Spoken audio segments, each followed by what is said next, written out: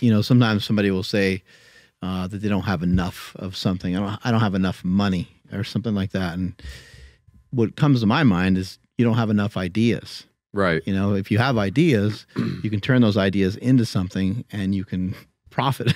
Right. you can profit from those things. And when it comes to the body, it seems like there's infinite things that you can try that you can kind of mess around with. And, and eventually you'll find stuff that feels right. What are your thoughts on like Starrett uh, mentioning things like having a super friend, like having Nsima and I just like work on each other, like, Oh, yeah. you know, an elbow in the back or a heel into the hamstring type Yeah. of thing. Also, I mean, spouses, this is a very fun Yeah. way for you guys to do some things to each other, you know, while also freeing up some tissues. That's right. I'm right. actually going to be creating a course for spouses. So there you go. They're coming soon. Ah. So One thing leads to another. yeah.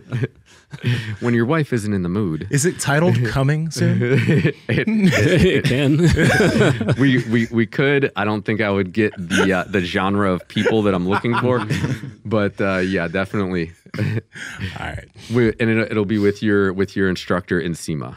That that There you go. There you go. Hey Sam, if you want to duel on this, let's let's we can make a tape. So uh, because my my brain went south after that, I forgot what we were. What I was Oh, just kind of, yeah, just uh, Super haven't seen my wife in seven days. like, damn, I need to get home. Uh, so you got the magic touch, and maybe other people don't. Oh but- yeah, but- super friend, super yeah, friend. exactly. Absolutely, man. Absolutely.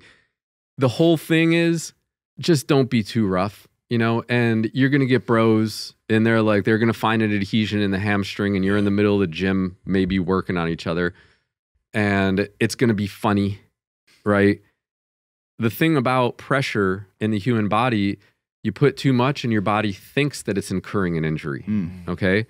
You don't put enough, and your body is just like, well, that tickles. I'm not going to really change my arrangement.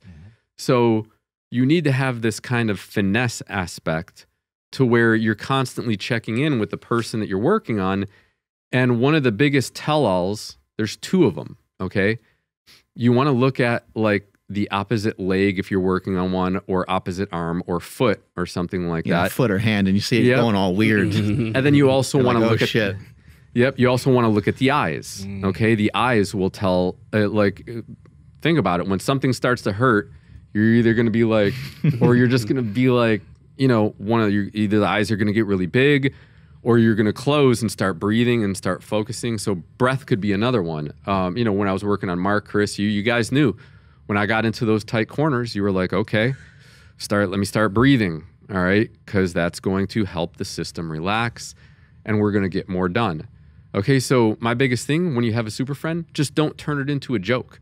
Don't turn it into playtime because, yes, you can actually make something worse. If the body is guarding an area and you come in there with a bazooka, you know, Ric Flair style, drop a chair or an elbow like right into an adhesion, right? Then the body's just going to be like, dude, I didn't like that. And it's going to tighten up or stiffen up even more. Okay, where if you go in gently and you're like, typically people who can't take pain very well, you're looking at between four to six on a pain scale of 10 that you want to work around. And I mean, with guys like you, I'll push it up to around eights, you know, so we'll work between like six to an eight for the most part. So those are some guidelines. Don't make it playtime. You know, don't try to get, don't press so hard to get such a, a, a funny reaction out of your friend, out of your super friend or whatever, and work in between those four to six or six to eight ranges, and you're good. You know, um, I, I, I truly, I, I truly feel that it's silly. More people, especially couples, are not working on themselves. Yeah. You know, like I'll I'll have significant others come with a wife or a husband that's having pain, and even in the husband's case, they'll be like, "Dude, I don't know how you." th- This is appointment eight for the day. Like, if I work on my wife for five minutes on her trap, my hand is cramping. Mm. You know, and I just say, "Well, I guess I know that I'm doing what I'm supposed to be doing with with my life and my time." You mm-hmm. know, because my hands don't cramp from that; they never have. All right, but really it just comes down to those those couple of things that I mentioned, just guidelines. But yeah, I absolutely believe that. You know, especially if you are a parent and your kid is very athletic, like what's what's wrong with being like, "Hey son, come here, lay on the bed And I'm just going to kind of like search around in your quads and in your calf muscles to see if there's anything that doesn't belong. You know, and you get in there and the tissue feels good for the most part, except you got this one little rough patch. Apply a little bit of pressure, four to six, something like that. Let the body work itself out. And you just potentially got rid of a knee injury that might have occurred in like five or six years. Yeah. You know, but like, I mean, I'm going to be working on, it. I don't know if my daughter is going to be an athlete, but I'm going to be working on my daughter probably at least once or twice a week when she starts to um, do athletics and whatnot. And you know, uh, when I was working with uh, Davone Bess, he was a wide receiver for the Miami Dolphins. He would go into practice on Friday and be practicing like it was Monday. And all of his teammates started to kind of like catch on and be like, "Hey, bro, what are you doing? Like, how come you're practicing so well on a Friday after you know we we had a game on Sunday and then practice all week?" My my guy CK, he does body work three four times a week on me. You know, and I start I realized I was like, if I get Davone's deadlift five pounds heavier, 10 pounds heavier, maybe the groceries feel lighter next time he goes to the supermarket. Okay. The guy's at the top of the top, but his body's his paycheck. So if I keep his tissue open and free, he's not going to get injured. He's not going to be running and pull a hamstring. And then he's out the next two or three games or something like that hmm you know um, so really for me it just comes down to keeping the, the the the fascial system healthy if you got a friend that can work on you and you can work on, on them without you know being silly or whatnot then go ahead and do it absolutely Yeah. Yeah, don't make Instagram videos about it. You, Right. Graham, Mark, all just fucking coming and attacking me, squeezing me as hard as freaking possible. Especially Graham, he would just get like all up in the Oh, pecs. that's a massage. That's different. That's massage. okay, same thing then. yeah. It's Yeah. massage therapy. It's not fun. We're just trying to it to get you. We're just trying to get you an erection. That's all we're trying to do. I'd love if you guys massage my traps. Yeah, But see? no one ever wants to do it to me. I'm sitting here. Do it to me. Sitting there just waiting. He's just asking for it. I want it. because I don't want it, I'm not gonna do it back. Well, I won't do it to you, but you can do it to me. Because Andrew's complaining about getting massaged. He is. He doesn't That's like where this show is gone. Well, we'll stop. We'll God stop. damn it. Massage, you guys are like, oh, you ah. still missed.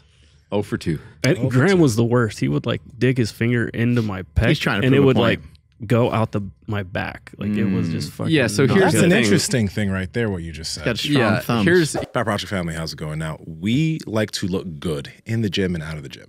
Uh, that's why you always see Mark and I and Andrew is stepping up on the short, short game, wearing shorts from Vuori and clothes from Vuori. And honestly, the number one compliment that I've seen, that I've gotten, and even Mark's gotten is, damn, your butt looks good. and that's because, well, the clothes we wear make our booties look uh, delicious. Andrew, how can they get it? Yeah, you guys both have pretty big wagons. Uh, you guys can head over to vuori.com slash power project. That's V-U-O-R-I dot com slash power project to receive 20% off the most amazing apparel that looks so good inside and outside of the Gonna make your ass look fat. and your people ass like will that. look fat. Links to them down in the description as well as the podcast show notes. Uh, God damn it. That's a good one. That's a good one. Make your ass look fat.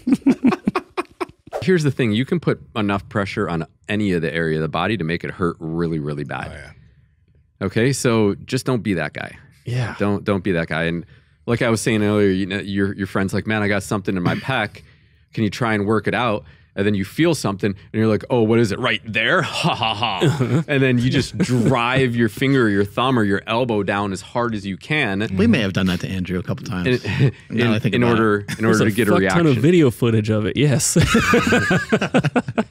so shame on you guys What are some? shame on you I know some of your thoughts surrounding uh, energy and surrounding like uh, we went on a walk one day and we were talking about like left side male female type stuff and then the, the lower back and can you share some of that with us and then oh boy I I know I know it paints us into a weird corner yeah uh, but I think it is important for people to just for people to hear some of these things because I I I don't know I tend to be just open to these possibilities. So we'll tell everybody to get their tinfoil hats on right now. Mine's okay. Get the tin, get the tinfoil hat on. There you go. Um, there there are certain representations or classifications in the human body that have been known for quite some time, for for a really really long period of time. And like I said, as medicine kind of advances, are we really getting smarter with shots, pills, robots, things like that? What I feel is we're actually getting further and further away from what nature and the body intended because we didn't have these things like meridians, Chinese meridians in the body. They've been around for 4,000 years. They're real, they're identifiable. I've tried to open somebody's quadratus lumborum. It's a muscle in the lower back on the right hand side and the left hand side. Okay. Try to open it up. And the dang thing is just being non responsive. Okay. Say, all right, start asking a couple of questions. Oh, so you got in an accident six years ago. You crashed your car. You almost hit a lady and killed her. Okay. That, that was just walking on the sidewalk you went into immediate like fear response. And what I found was that when I started working on the gallbladder meridian, that quadratus lumborum opened up. Okay, so that's number one. We're looking at meridians in the human body, and we have one that's attached to every single organ. And when these organs get into stress, they call out to the neuromuscular system for help. Okay, we've known this for 4,000 years. Chinese Chinese medicine. This is some of the stuff that Ben uh, Clarefield worked on me with, where he like pushed on my nose and some of that stuff, and some of the stuff that Charles Poliquin did with jamming the uh, pen cap into my the bed nail with my finger. Sure, sure. So, emotions, fascia does not have any eyes. Okay. It can't see what's going on in the outer world. So, it relies on input from our emotions in order to get a sense of what's happening. Some of the worst people that I work on have absolutely no physical injuries, it's all emotional trauma. Hmm. Okay? Worked with a lot of addicts. Okay? Drug drug addicts and whatnot. They haven't played sports. They're not bench pressing 800 but their entire body is filled with adhesions what gives it's all emotional trauma okay so how you feel with your environment okay gets translated into how healthy your fascia and your organs are. All right. So a lot of people are in this constant fight or flight. They're locked in this adrenal phase that they can't get out of because the body experiences everything as a threat. Okay. And like I said, fascia doesn't have eyes. It doesn't realize that I can't, that I can just go to the supermarket and get some food. Okay. It realizes like, I've been fasting too much. Okay. I surely must be starving and there must not be any food available anywhere. And in an inexperienced dieter, that can create a lot of problems with the stomach meridian. It can create a lot of problems with emotions surrounding food, okay, that then translate to restriction in specific areas of the body. Okay. So I'm sure you guys have heard of people doing body work on somebody and releasing trauma, and then all of a sudden they're just like crying oh, uncontrollably. Yeah. All right. It doesn't happen. I'm not going to sit here and say it happens every day, but I would probably say maybe two, three times a year I'll get a client like that, you know, where I'll, I'll press on something and I'll, I'll just get an immediate release. And then all of a sudden, they, a lot of weird emotional stuff starts going on with them. And I'm like, it's okay. You know, just let it pass through, you know, be the observer. We're, we're getting that out of your body. Mm-hmm. Okay. And all of these emotions that we have, they start off as little neutrinos in our brain and they travel down the nerve and they go to specific areas. You get really, really angry and you're going to get tight in the, in the head, neck, and shoulders. Now you're not angry anymore. Where did all that stress go?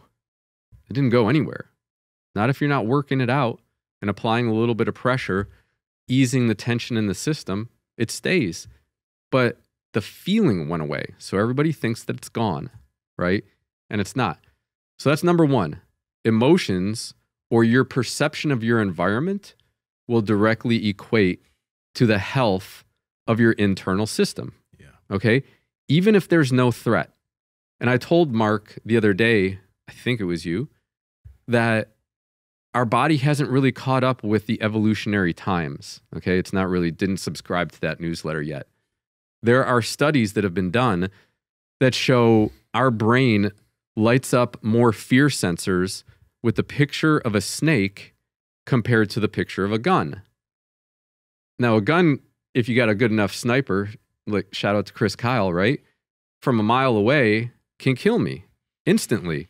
Snake has to be like two, three feet away. Mm-hmm. And then in some instances, I think he even said you, you're not going to really die right away. Like it would take a long time.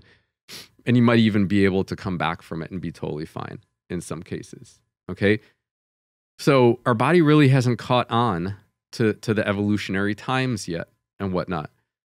When we look at other representations in the body, the left side of the body is female, the right side of the body is male. Now, here's the thing my dad was never very supportive of me when I was growing up. He wasn't a bad person, okay? But he wanted me to do certain things. He wanted me to be a golfer, and I wanted to be a football player. So when I chose to play football instead of golf, my dad was kind of like, "I- I'm not really going to support you anymore, type of a thing. Okay. He was like, Why do you want to play football? You're going to sit the bench. And that gave me enough fuel to be starting at five positions within three games. Okay. So, what ended up hurting first on me was my right knee. Okay. And then there are people that come to me where they have a problem with their left knee or their left hip. Okay. And nothing that I'm doing is working and I can't figure it out. All right. And I'm like, tissue, everything is saying that, you know, all systems go, we're good. And then I'll ask them, I go, do you have a problem with any females in your life? I just be like, gosh, like which ones don't I have a problem with? and I'm like, did you have a problem with your mother? Yeah, of course. My mom always told me to be anorexic and said that, you know, you should that that you're that you're not pretty unless if you're 65 pounds and stuff like that. And I'm like, okay, you know, um, this is beyond what I'm going to be able to do for you. You need to do some emotional work surrounding that because that's the only reason that I can think of that this is occurring Mm. right now. Okay. Um, we can look at other things in the body, like uh, there are representations in the astral plane saying, you know, your left heel opening up or, or having pain in your left heel means that you're growing spiritually. Okay. Anecdotal, I have no studies, once again, that show this, Mhm. but just like I disclaimed earlier, life is more exciting when you're looking at things that you can't touch, taste, feel, hear, and see. Okay. Um, pain in the right side back is typically characteristic of too much physical work in the in the world. Power Project family, a lot of the guys in the audience said that they hate me whispering. So I won't whisper anymore. I'll just whisper here again. So go ahead and comment down below. Like, comment, subscribe, and check out all our sponsors here in the bio or the description. Okay. All right. Bye.